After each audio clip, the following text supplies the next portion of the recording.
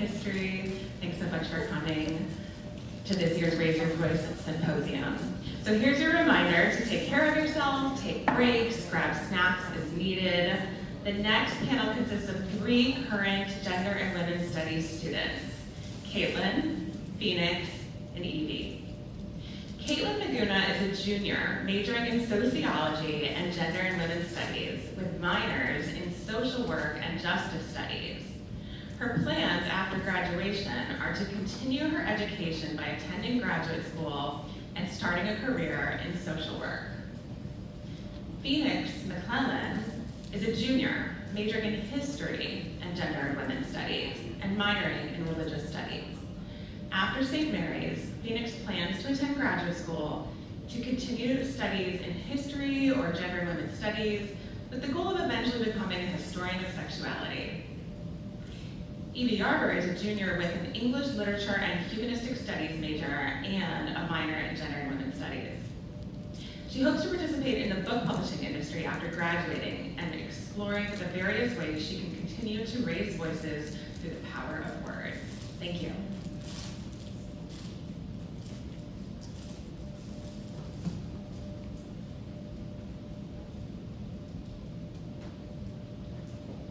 My research is titled Beyond the Hashtag, a deconstruction of hashtag MeToo. This research critically examines white feminism and looks at a media analysis to scrutinize the hashtag MeToo movement's shortcomings in fostering inclusivity. By doing so, it aims to contribute to a narrative that promotes an inclusive and transformative movement for survivors of sexual harassment and sexual assault. The two main theories that I used while conducting this research were intersectionality and black feminist thought. Kimberly Crenshaw created the term intersectionality, the idea that when it comes to thinking about how inequalities persist, categories like gender, race, and class are best understood as overlapping and mutually constitutive rather than isolated and distinctive. The oversight of intersectionality when talking about the hashtag MeToo dismisses those whose narratives seemed to not fit with what mainstream media highlighted as important, which were namely young, white, middle class, and often conventionally attractive women. Black Feminist Thought was created by Patricia Hill Collins. She wrote that the unpaid and paid work that black women perform, the types of communities in which they live, and the kinds of relationships they have with others suggest that African American women, as a group, experience a different world than those who are not black and female. The methods that I used for this research were analyzing social media, and within that, hashtags on the various platforms, American mainstream news articles, and various scholarly articles. The, me, the hashtag MeToo has been used roughly 19 million times on Twitter between the start and on October 15th of 2017 and September 30th, 2018. And the usage often surges around various news events, including the start of it on October 15th, 2017, when actress Alyssa Milano tweeted, if you've ever been sexually harassed or assaulted, write me too as a reply to this tweet. And in the days following, there was an outbreak of similar stories shared on social media. Two days later, Harvey Weinstein resigned from his board of entertainment company based off of sexual abuse allegations made against him. On December 6th of 2017, Time Magazine named the Silence Breakers its 2017 Person of the Year, highlighting the actors and actresses who were at the front lines of this movement. But in, the time, in Times Magazine's entire article, Tanara Burke, who was the original creator of the term Me Too, was only named twice. The writers of this article seemingly dismiss her years of hard work and her passion for the movement. And it also failed to mention how her work had primarily been geared towards underprivileged black girls. On September 9th in 2018, Leslie Moonves, the chairman and chief executive of CBS, resigned amid allegations of sexual misconduct. And this was the day with the single greatest number of mentions of Me Too on the Twitter platform.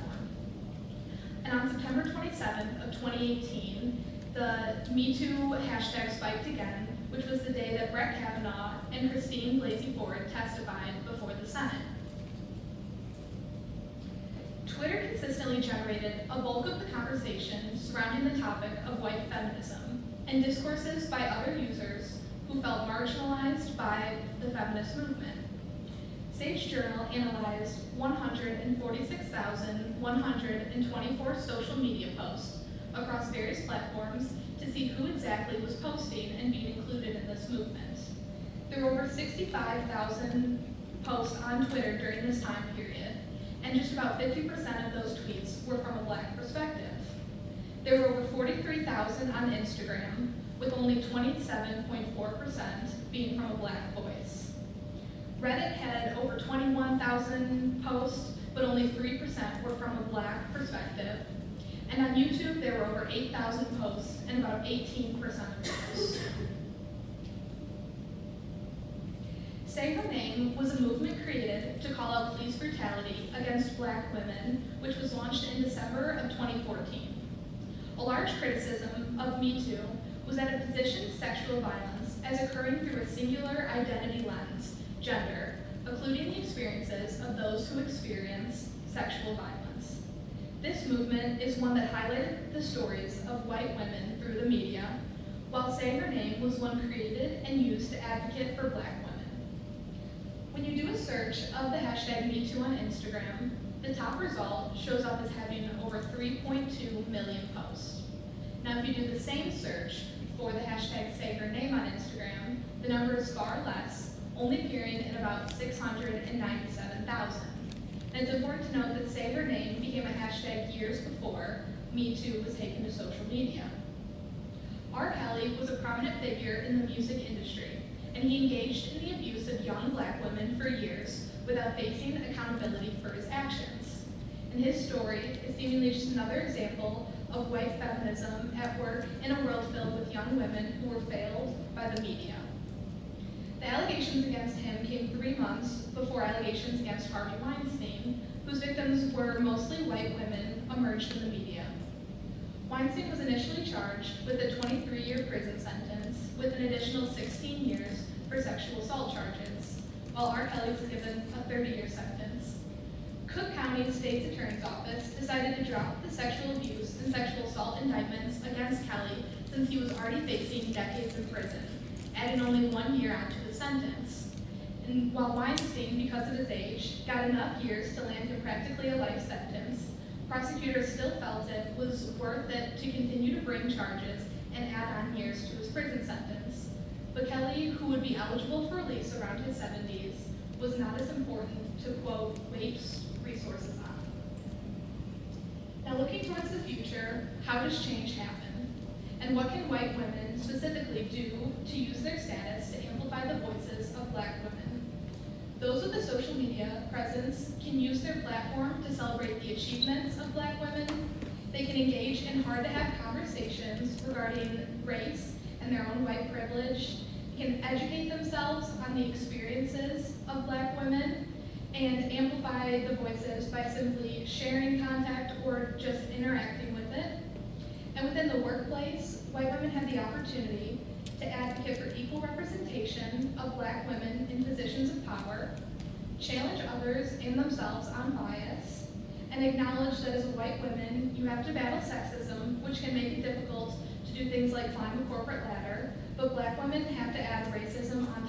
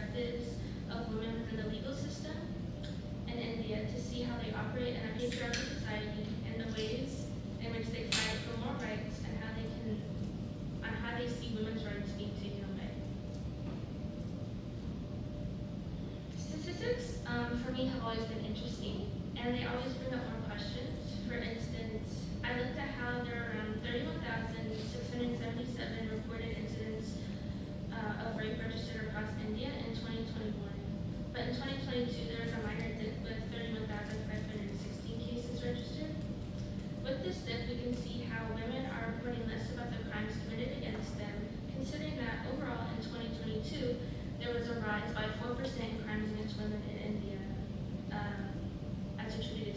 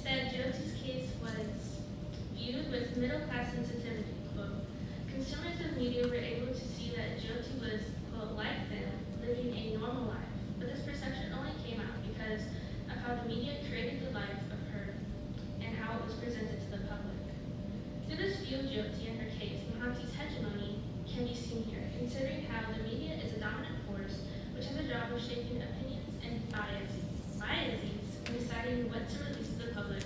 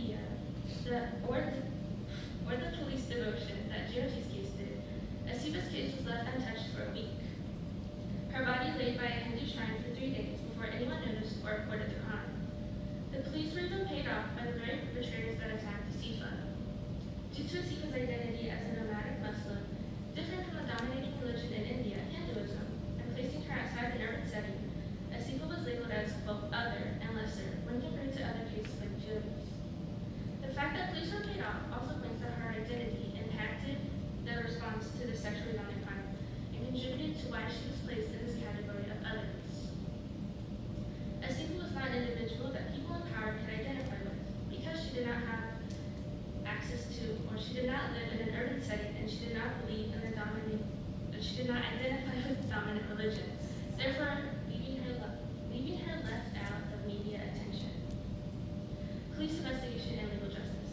One of the sources that I use points out how women living in remote locations or consisting of lower class identification and resources identific- identities are less likely to have their cases of sexual violence heard because they do not affect the flow of urban life and therefore receive less attention and resources from the public. People outside these quote high profile statuses end quote, like the one assigned to Jyoti, rarely are given access to the police, let alone are able to gain any relief from their perpetrators being put behind bars. Because of this otherness assigned to them, through the collective norms and ideas placed upon women's identities. Both of these cases are important, and this is not my intention to make it seem like one case is more important over the other, or that India has never gotten justice for women who have reported sexual violence against them. I am saying that it is representation matters for all women and individuals. I am saying that collective norms about certain women's identities need to be changed, and rather than solely hiding in cases or voices of other people that are sure to relate to. Some recommendations that I have for making changes in this area consist of raising awareness and resources for women and individuals living in India and uplifting survivors when they raise their voices. Another way to help is by increasing media attention uh, for women often overlooked by legal systems and searching for ways to improve India's governmental aid to survivors of violence. This could be as simple as providing areas of safety away from abusive relationships or training for people within legal systems to listen to women and their claims. Including more voices in the legal systems themselves would also be a step in the right direction. As in my recent research, I discovered uh, Karuna Nundy, who is a lawyer in the Supreme Court of India, who has been fighting to criminalize marital rape in India, but it remains difficult due to India's patriarchal legal system, seeing that even if a case is brought against the wife's husband, the courts are more willing to hear the husband out over the wife. Nundy actively works to petition the Delhi High Court, as she did in 2015, through 2017 and continues to do so in hopes of seeking justice for women across India and other countries that leave out marital rape as a crime. Thank you.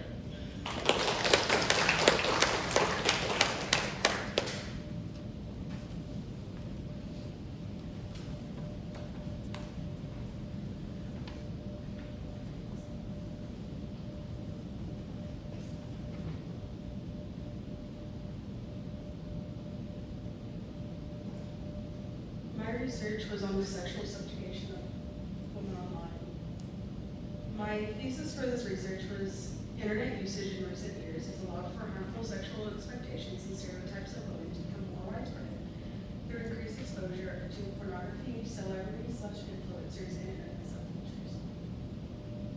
The theory lens that I used for this research was Crenshaw's theory of intersectionality to help prevent the research from fo- focusing on exclusively one type of woman, woman, as when you talk about violence against women, you should talk about all women.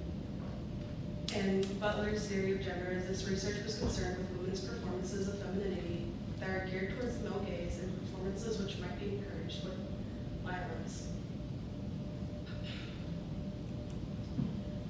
When I, the methods I used for collecting the data for this research was I analyzed news articles such as articles from The Guardian, HuffPost, and New York Times, as well as scholarly articles from JSTOR, Google Scholar, and Sage Journals. I also analyzed experiences of individuals, such as from the blog The F Word, which included fetishization of women-loving women relationships. Sorry about that. And for this research, I had three main focuses, as previously mentioned in my thesis slide.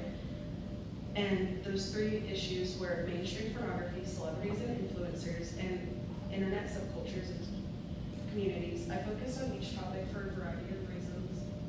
For mainstream pornography, I focused on I focused on it due to its normalization of the objectification of women, the fetishization of different types of identities, and brutalization of women.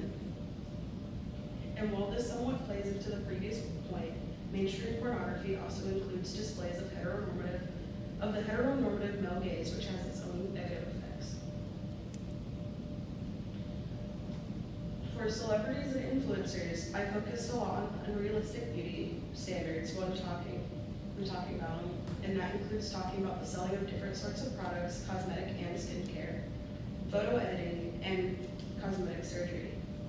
We can get a bit of an idea of how celebrities play a role in setting unrealistic beauty standards from this image in which a woman felt the need to attempt to have the sort of look that has been respond from individuals such as Kim Kardashian as she received cosmetic surgery as well as styled her makeup in a similar way.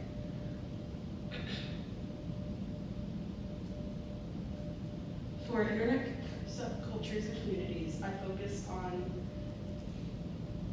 talking about internet culture, you also have to talk about the different types of communities that make up a large portion of the internet. I used alpha males and incels as examples in my work when talking about this as they have directly con- contributed to online misogyny through things such as negative stereotyping of women and through encouraging violence against women. For example, the man in this image, Andrew Tate, was a large alpha male influencer who would brag about assaulting women in a number of ways and even encouraged other men to do the same. There is also a lot of heavy overlap in themes regarding female sexuality, behavior, and appearance. Overlapping themes lead to the creation of consistent sexual expectations and stereotypes slash myths about female sexuality and existence. Some of the stereotype or some of the themes included hiding of blemishes, often a rejection of perfectly natural things and perfectly natural bodies, such as people who are plus size or people who have bad acne. The selling of the idea of perfect bodies. Often the perfect body includes thinness and other things you'd see on the media, such as large breasts or large behinds. Uh, and the idea of being sexually available to men always, and the idea that women should act how men want them to, as well as the normalization of violence, such as women being hurt for men's pleasure, as well as the idea that men should use violence against women to make them submissive and put them in their place. I included a, I included a number of possible solutions, such as the usage of comprehensive, comprehensive sex education that acknowledges that acknowledges pornography usage um, and the idea that people are encountering pornography when they're younger rather than when they're older. And the idea that people are using it as a stand-in for reality and they are treating it as if it is real, accurate to reality, which is causing them to use it as an educational tool in learning how sex should happen.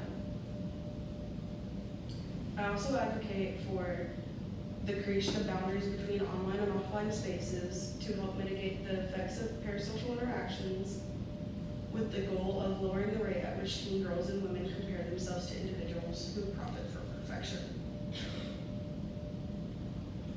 It also helps slow or focus on slowing recruitment into radical communities as and less radicalization equals less opportunities for extreme violence. Because when you're putting these boundaries in, you aren't focusing on trying to be like these alpha male influencers who seem to have everything, including muscles and money. And most importantly, I focus on the idea of creating space to talk about these issues as increased accessibility equals increased awareness. And by creating spaces, safe spaces for conversation, people will not only talk about these issues more, but also find learning about them to be more accessible. Um, increased accessibility means that it becomes easier for the general population to be made aware of the damage that is caused by a lack of education about the effects of misrepresentation, misinformation, and marketing that constantly plagues the internet. I also was I was also told that it would maybe be smart to include a portion on for future research. This research is the predecessor to my senior comp, and I hope to take it further by interviewing women in a tri-campus community to understand how these issues affect women in our own community. Thank you.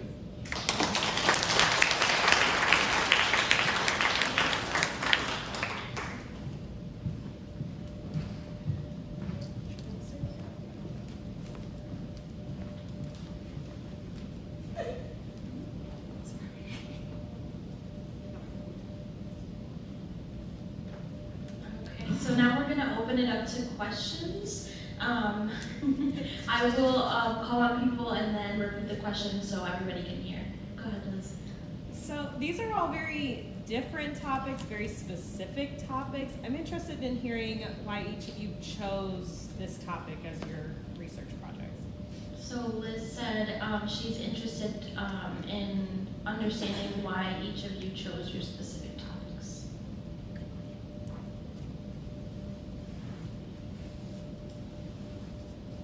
Well, I chose my topic because I'm pretty consistently on the internet, the same as my peers. And I'm constantly seeing these issues for myself as well as I've had my own issues caused by them. I chose mine. Um, I had known about the Me Too movement through social media, but I just learned in the last year of the true founder of the term, Tanara Burke, and I thought it was interesting that I had seen so much about this movement on social media but never heard about her, and just wanted to look into research surrounding her and what other voices were being excluded. Very interested in like a transnational perspective. I I hear a lot about like what goes on in the United States, but rarely do I hear about what's happening outside of states unless it's very biased. And I just kind of wanted to do my own research into that. And I chose India specifically because I remember hearing about the 2012 game with the Jyoti Singh Pandey, and so I just wanted to do my research into that. Other questions? So Phoenix, um, when you talked about your possible solutions, you had mentioned, uh, uh, teaching of porn literacy. A couple years ago, we had someone who came and spoke about some of that, and, and in her research, she found that like the first age touch point was like eight years old of when a person is exposed to some kind of pornography via their phones and stuff. Was there anything in your research that showed any kind of age demographic by chance of like how early people are being exposed to things that are kind of like larger. It's okay if it didn't. I just wondered if what you found now has kind of changed or not. So the question is, um, I guess, what's kind of the age demographic of um, maybe how early or how young um, children are being exposed to pornography? So in the actual research, there's nothing with a range. I'd really like one. But there was one study talking about how people's partners, how they were being exposed to domestic violence as their partners had learned about sex from porn and relationships from porn. And a lot of it referenced individuals who were encountering it in their early teens. So that's really the age range that I have the most information on, but there was nothing about the exact like age ranges. Other questions? Sure. I have a question for you. Um, considering that you just, you got to, um, see representation of, uh, sexual violence in India, both from Indian sources and from Western media outlets, did you see a difference between how Western outlets and how Indian media outlets, uh, talk about sexual violence? So what was the difference between um, what you saw in the Indian media versus the Western media as you were doing your research? I feel like from the research that I saw, I didn't heavily see much of a difference. I, I know the Western tends to like dramatize a lot of the events that happen because of like Mohanty's theory of evidence that we're always trying to like, they're always trying to find like ways to $15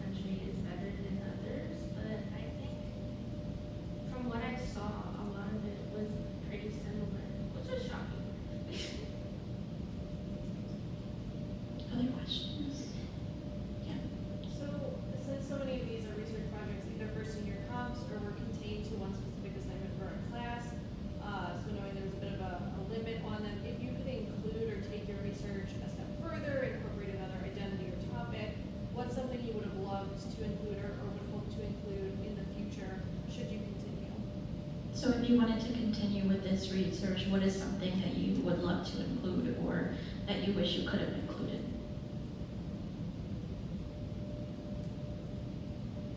I would love to look more into the legal side of like policy reform and legal reform as a response to the Me Too movement, and to kind of look and see that if those changes help to shift the culture surrounding um, gender-based violence?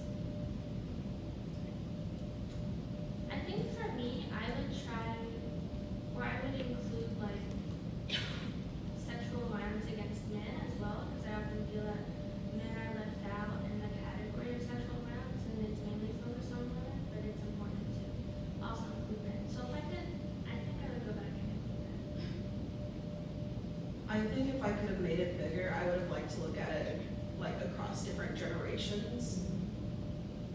And how, increase exposure and watch the correlation between it. Other questions? Let's, I have questions for days.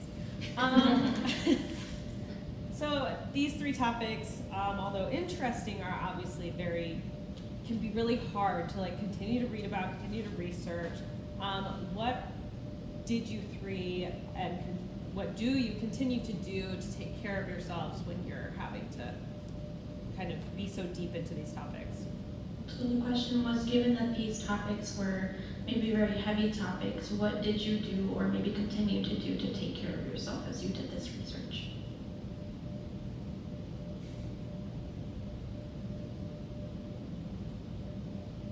I know through my research, um, we got a lot of support. I did my research in Dr. Wagman's class. I know I got a lot of support from her, and I know other people were doing similar research. So I think it was just kind of knowing that we were all doing it, and these were all research topics that are so important. Adding to that, I also just think it's good to like cry. As well as like I would work on other stuff. If I was like, okay, this is too much, I'm gonna go work on this other paper. I feel like for me, I probably didn't take enough care of myself while researching. They're pretty heavy topics, and I, I guess personally, I feel like I should look at it because if someone else isn't, it's my responsibility. But it's hard to take on responsibility for so many things. But it is very important to take care of yourself. Yeah, go ahead. Um, while you guys were researching for your projects, did you converse with your family at all about what you found and how they might be affected by it? Uh, while you were conducting your research, is this something that you kind of touch base with your family or maybe other um, close people to you uh, about what you were finding?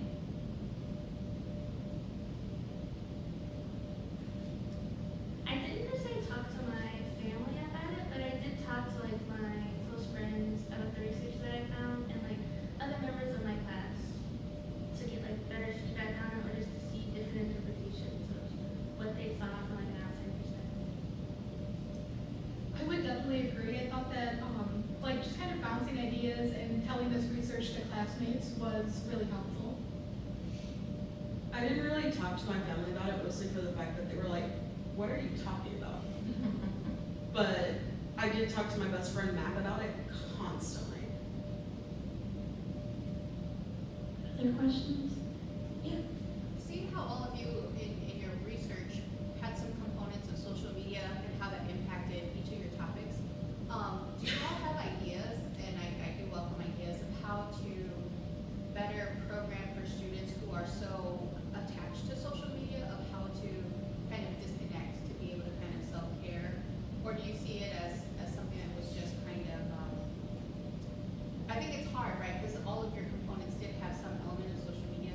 How could we better serve students to, to do something to provide like a positive or maybe a disconnect of, would it help to have events where no phones, where you put your phones away to just be present?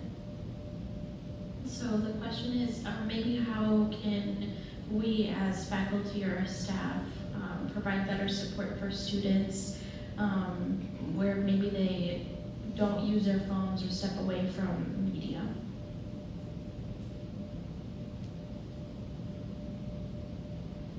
I think that um, media breaks or some sort of like events like that would be great because I think sometimes it's so easy, at least for myself, to just always have my phone with me and be on it. So if you want to say like being forced to put it away and just like be in a safe and like welcoming environment while that is put away and just not on it. I do think that's a good idea. I also think it would maybe be smart to maybe have events directly tied to how to avoid or handle situations with violence online. I don't think we have that. I think we have a lot of stuff that's about handling like like violence, like if I were to like smack Kaitlyn. But like we don't have anything that really talks about like, oh well maybe this is a way to keep it down on your own profile or you know, like how to step away from certain things or block different hashtags or things like that. I think that's more so of a thing that would be helpful, more directly helpful at least. However, I do think unplugged events are good, and if you offer me a coloring page, I'm there. I have to agree with Phoenix. Like just having events that would be like, don't bring your phone, we can all chat together, or just do an activity together that keeps your mind occupied rather than like resorting to your phone to fill space. Is something that's interesting, but it's also very hard to stay off your phone. I struggle with it. I'm sure so many other people struggle with it. It's just very addictive. and Very hard to break the addiction. Other questions? I, I have questions for everyone, but, but, but, um, if I could just follow up on that last one. Uh, Phoenix, you specifically mentioned, like, boundaries as being part of, um, one of your, like, one of your solutions. Um, boundaries between online and offline spaces. And I wonder if all three of you can reflect on what boundaries between offline and online spaces might look like, too. So if you could reflect on boundaries between online and offline spaces, what would that be? I think part of it's the amount of sharing.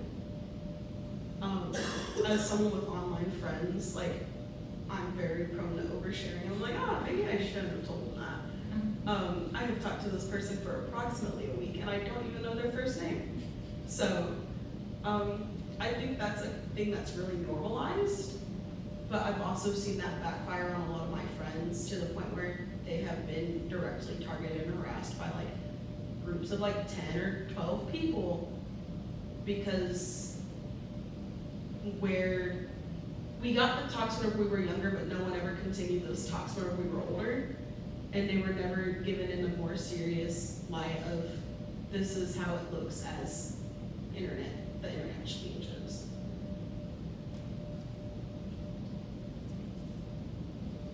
I would definitely agree with Phoenix on that, and I think it's just so important to stress like safety online. I think we talk a lot about like safety, like don't really like walk alone at night or do things like that physically, but I think that online safety is just as important for people of all ages.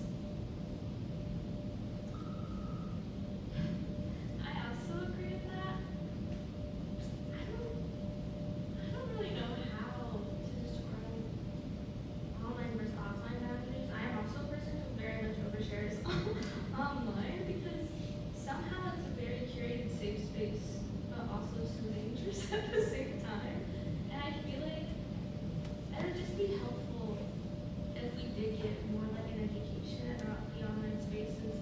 A majority of us like grew up in the age of internet was popular and it was always like integrated into our lives and our learning, but we never really like learned how to use it efficiently.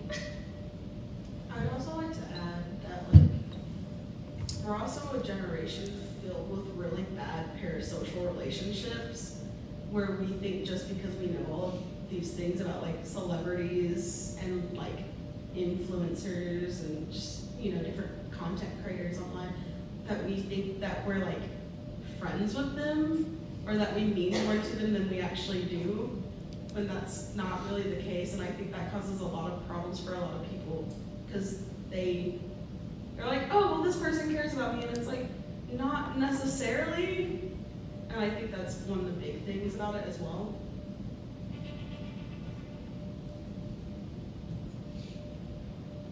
Other questions? Sure. Um, this kind of connects to, um, a, a presentation earlier, uh, Beth White was talking about how, um,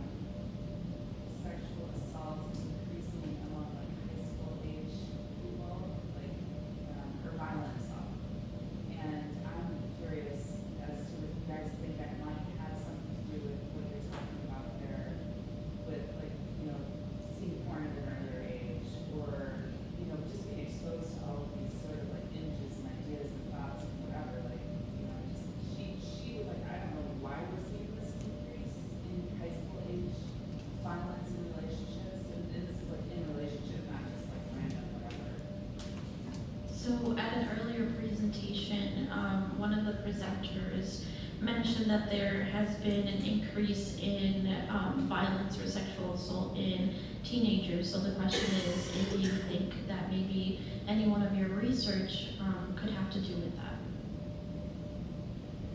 For sure.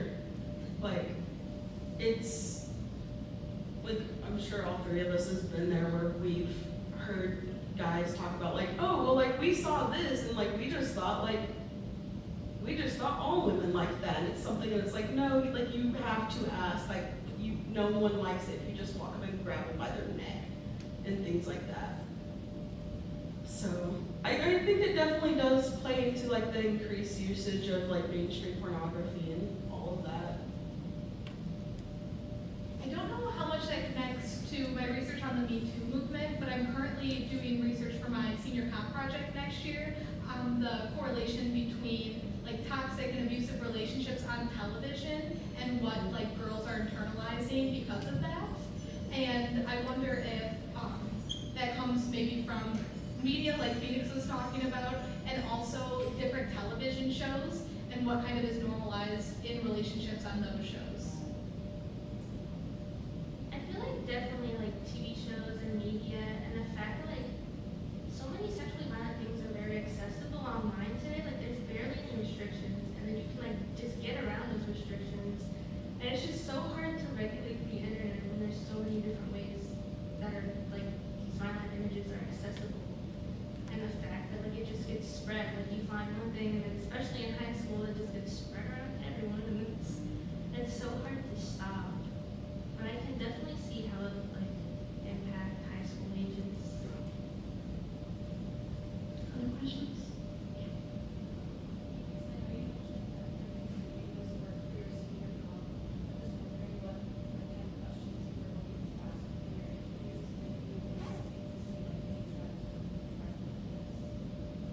Specifically for Phoenix, what um, questions or what do you anticipate to see for your um, future research for your comp? So I don't have the questions figured out yet. I'm still working on that one. But I am fully preparing myself to hear something like just downright awful because that's honestly just the nature of it.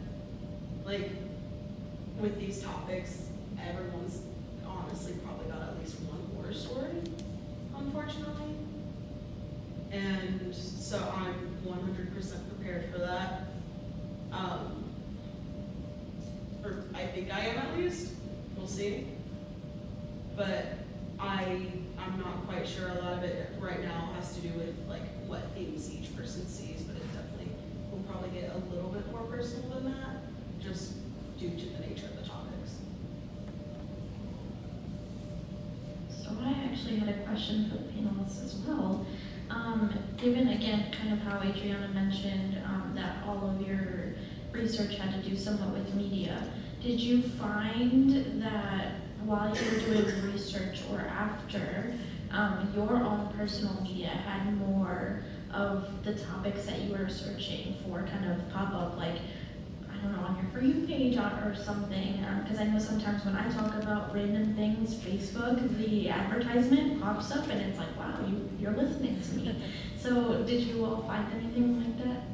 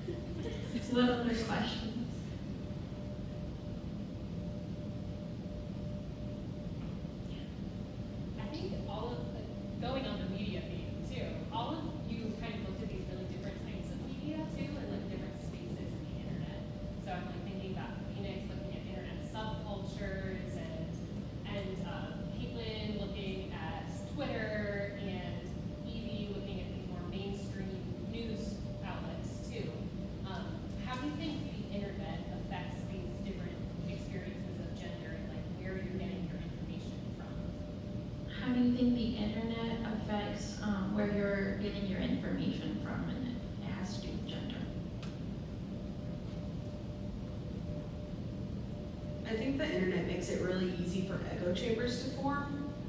And well, well, echo chambers are gonna form either way, like it's really easy to go, okay, but I want all of my media and all of everything I do to be catered around like this specific thing, like like this portrayal of women as like the submissive, sexually available, um, overly like promiscuous, like that stereotype.